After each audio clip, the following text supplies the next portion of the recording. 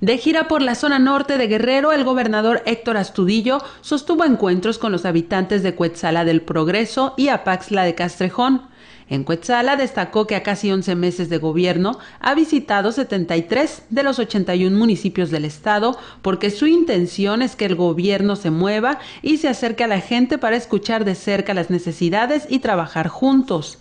Ahí entregó apoyos del DIF Guerrero y anunció obras por más de 16 millones de pesos. Además, puso en marcha la campaña de combate al dengue, zika y chikungunya y se entregaron pabellones y repelentes a mujeres embarazadas, 3.800 paquetes escolares del CONAFE, 100 frascos de suero antialacrán y la Secretaría de Salud destinó más de 1.5 millones de pesos en medicamentos y 970 mil para equipamiento del centro de salud.